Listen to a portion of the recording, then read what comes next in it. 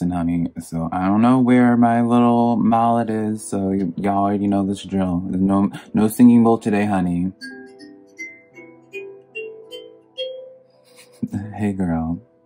Hello, my beautiful Taurus. How are you doing? Today, I'm going to be doing your weekly general tarot reading, which I Hello, my beautiful Taurus. How are you doing? My name is Simply Velca, and today I'm going to be doing your weekly general tarot reading for your zodiac sign, Taurus. Now, I also do your weekly tarot reading for you versus them, which I'll leave a link to over here for you to check out at a later point, Taurus. But when it comes to any of my tarot readings, Taurus, be sure to rely on your intuition because put it in perspective, Taurus, I'm just a man reading some tarot cards to you. You know your situation better than I ever possibly could, so take the cards that resonate and leave what doesn't, because I promise you I'm not going to be offended by it whatsoever. And Taurus, if you find any tarot cards that resonate with you in this reading, be sure to let me know in the comments below how it does.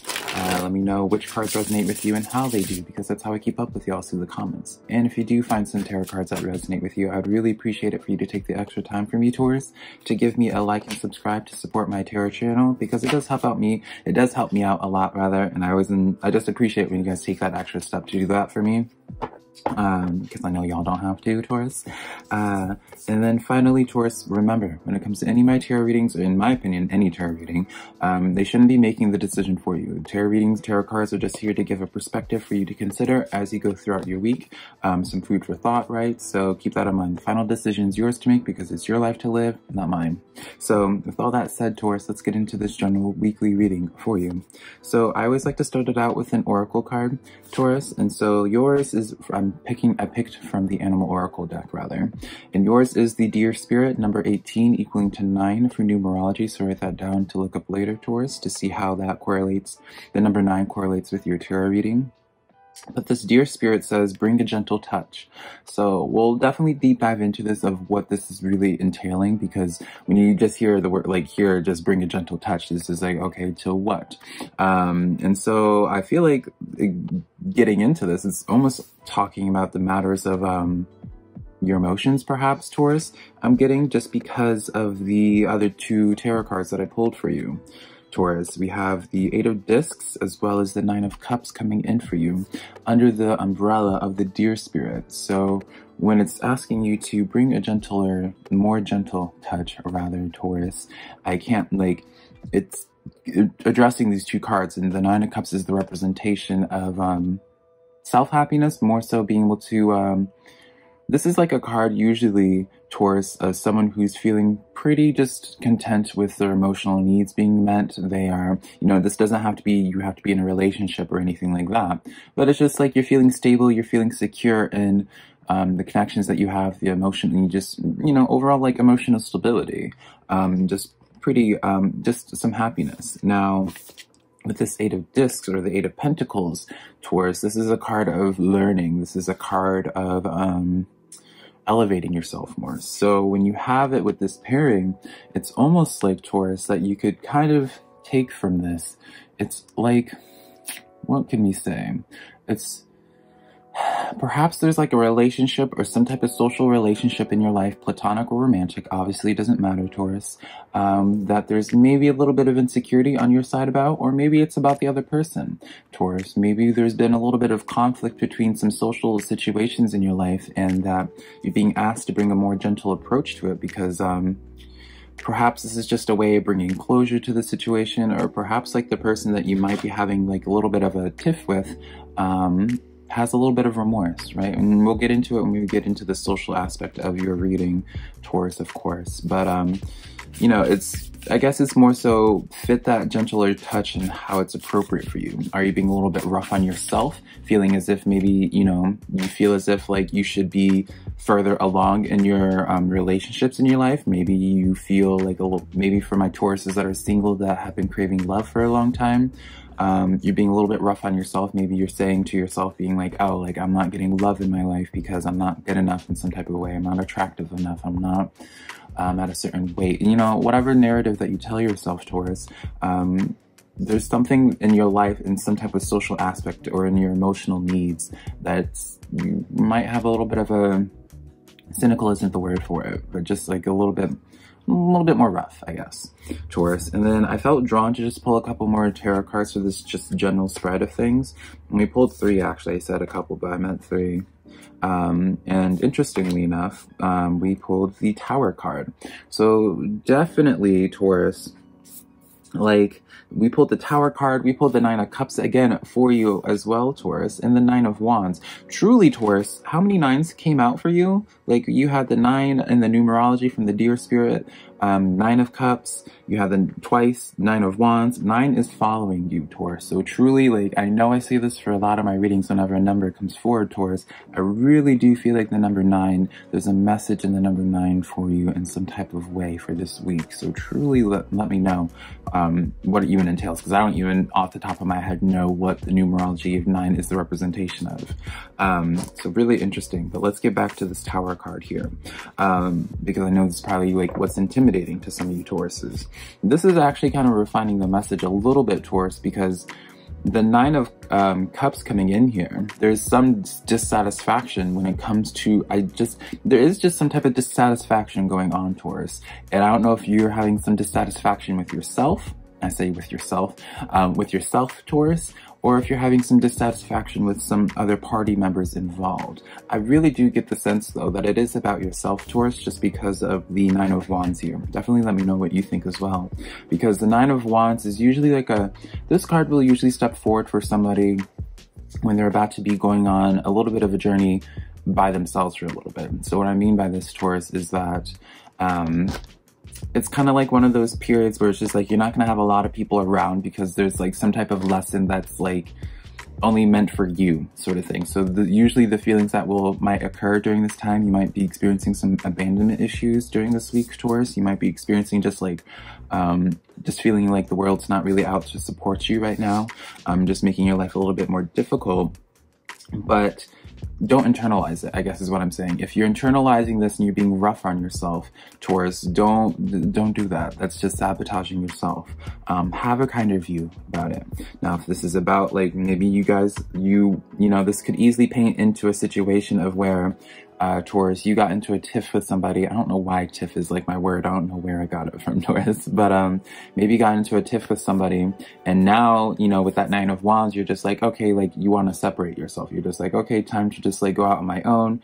You're just like, you know, it's almost like for some of you Tauruses, you washed your hands clean of some type of situation. It doesn't have to be like a. I'm not getting like a conflict Taurus, but more of like a um just like this sense of wanting to just be done with something after some type of action happened, or maybe lack of action. No, I feel like an action happened. With that tower moment, a definite action happened that kind of disrupted things. Um, and it feels like after that tower moment, you're kind of just like, okay, done with it.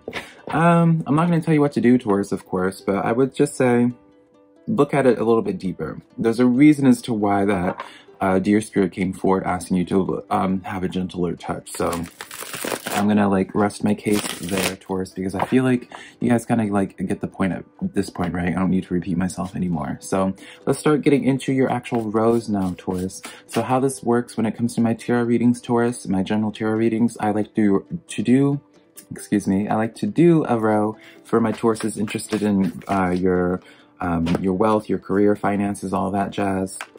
Taurus, and then I like to do a row just strictly for your social situations. This could be platonic or romantic, right? Um, just your social situations. And then we like to, I like to do just some final thoughts and final cards um, to see if there's like any like last messages, something to be closed off when it comes to the reading. Um, but yeah, Taurus, let's start out with your finance, uh, your financial situation, your career, um, your passion projects, right? Let's start with that and see what's up with that, my Taurus. So, uh, the three starting cards that we have for you, Taurus, is the Nine of Pentacles. Nine is really following you, as well as, um, yeah, just nines are just following you, Taurus. So Nine of Pentacles coming in, King of Wands as well, and the Six of Swords comes in.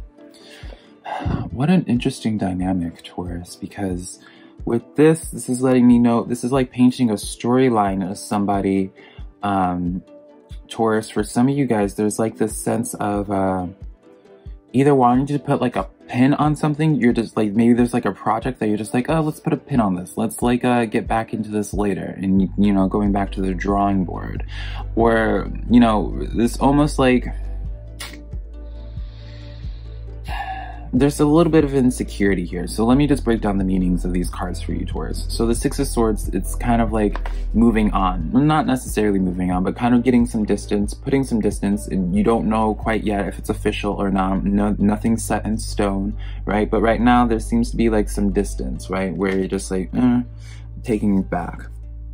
And with that distance, I have a sneeze coming up. Taurus, honey, ah, what is that thing that you do when you're trying to avoid a sneeze? Banana? oh, wait, I guess it's, honey, I guess, I don't, I guess saying banana works. I remember hearing about that, like where you just say banana or something. I don't know. Maybe I'm just crazy. But uh, anyways, back to your reading, Taurus. I apologize. Uh, with this Nine of Pentacles and this King of Wands, it's almost like for some of you Tauruses, you might have felt like you have fallen flat on your face a little bit when it comes to your project, where it's just like you went forward with something and in the hopes of it being um, helping you in your self-sufficiency. And then there's just like with the Six of Swords, um, you kind of fell flat on your face or you're just like hoping that the payout was sooner. Or this could be one of two ways, right? This is a situation of where it's just like you're having to leave something like your comfort zone. So like that stable job Taurus and you're interested into it. I don't see quite too much action. Yeah, you're interested into dabbling into this new project of some sort. So let's pull some clarifiers, see what's up um, with this. What's going on Taurus with these cards. really interesting reading though. Let's see. These cards are coming out. This one wanted to come out as well. All right. This one come on? Yeah, yeah, this one out. It's a good card too. Y'all like how I'm having these separate conversations just with myself. So the clarifiers that came out for you. Wow, a lot of intense cards. We have the Magician card that is the extra card that wanted to come out for you, Taurus, which is Magician's beautiful card to have. This active manifestation. This is kind of like a, seems to be this theme of um, proactive action is that the word for it? A lot of proactiveness when it comes to this project of some sort. Um, a lot of, uh, and with the intent of creating. I also want to point out the back of the deck energy is the six of wands as well, Taurus. So definitely is that it is a victory that is some type of victory in regards to projects and in regards to um, manifesting. And the three other cards that we pulled is the Moon card, the Knight of Wands, as well as the Page of Swords. So this Knight of Wands, honey, this is kind of like a mini chariot. This is like the chariot. I always like to refer to the Knight of Wands as like the chariot that's inside of you, Taurus. And what I mean by this is like something in you, this is kind of like this calling of like pushing out into the unknown, right? With this moon card where it's just like you are gonna, there is like this sense Taurus for my Tauruses that I really want to do some type of project that gets into this Nine of Pentacles moment um, you're gonna have to take a risk. You're gonna have to like go out into uncharted territories where you can't quite see that far ahead of you, and it has to be going within um, towards of getting that drive. Because I'm not, I'm gonna be honest, I'm not gonna, I'm not seeing a um, immediate payout for you, Taurus. If you were to do this, like I'm not seeing it overnight happening. Um, Page of Swords comes in with the Justice card. This is interesting because this is like a dynamic of um, things coming into balance, but like in regards to like, I feel like this is almost like your mental state, Taurus. I get this sense, Taurus, of where um, maybe you're being critical of yourself, even during this, partly during this journey as well, when it comes to um, getting to this Nine of Pentacles, that by you being a little bit critical of yourself, that's almost like it's like, I don't know. I feel like there's like this sense of with that Nine of Wands journey um, that we were talking about, Taurus, I get the sense that this week you're really going to, like a spotlight's really going to be shined on like the self-deprecation nature that you might have with yourself or just like, I don't know. I just feel like you're not being kind to yourself. It sounds like such a weird message, Taurus, but like I feel like a lot of you Tauruses are really hard on yourself when it comes to like your career and your finances. And I feel like this is a week of where you look at that. You look at that, the behaviors that you have with yourself and the language that you have with yourself and how you speak of yourself when it comes to your, you know, your work situation, Taurus. So enough of that. I just want to say, yeah, I see it good when you take action on it, but I feel like that what's blocking you from taking action is like some type of overcriticalness of yourself. Um, maybe you just feel like you should be better than you are, but I feel like you're just being hard on yourself. So I'm closing that out, Taurus. We're going to get into the social situations um, for my Tauruses this week through tarot cards. So let's see now. I pulled out for you Ace of Cups, Seven of Swords, and then Six of Pentacles. So, Taurus, I'm gonna, uh, this is kind of like reflecting Taurus of someone that feels like they opened their heart up to somebody.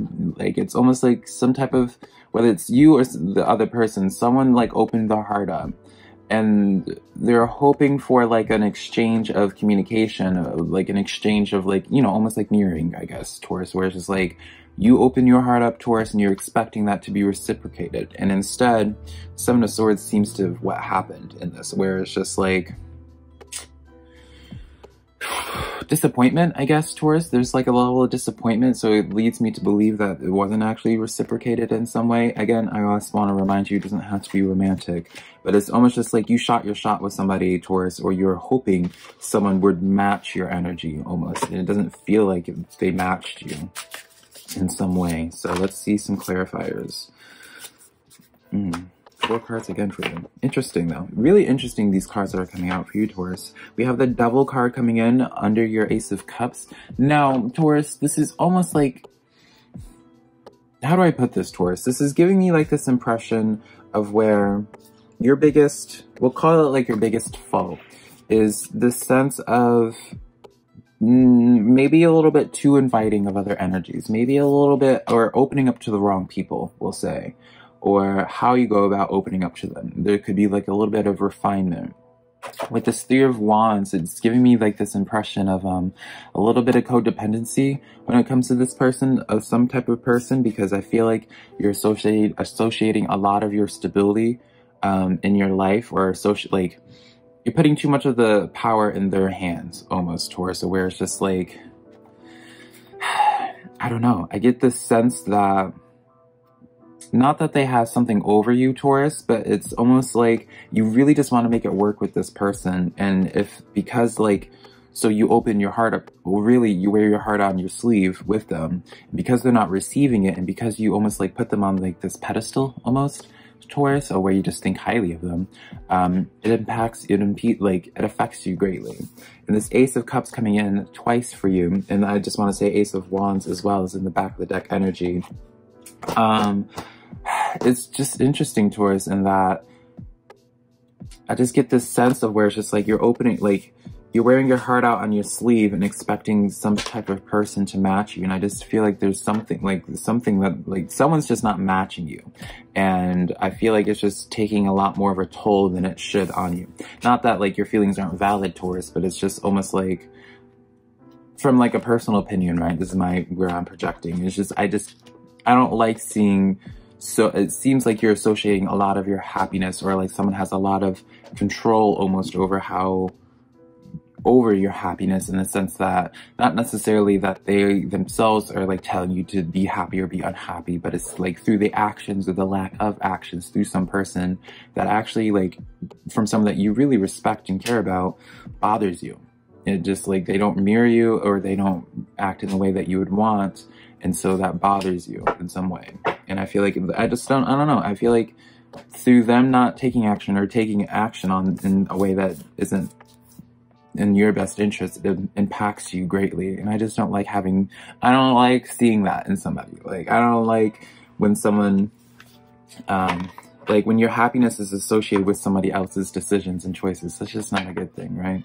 It shouldn't be the case. So final cards for you, my Taurus. We have the Nine of Cups coming in with the Death and Rebirth card and the Seven of Wands. Now, Taurus, really closing out this reading, um, it does seem to be your Nine of Cups because this is the third time your Nine of Cups has come out, uh, Taurus. So definitely, it seems to be the happiness comes in through this sense of um, closure of something, closing things out with this death cycle or death and rebirth cycle, closing th- cycles out, closing out things that are just not meant to match you anymore.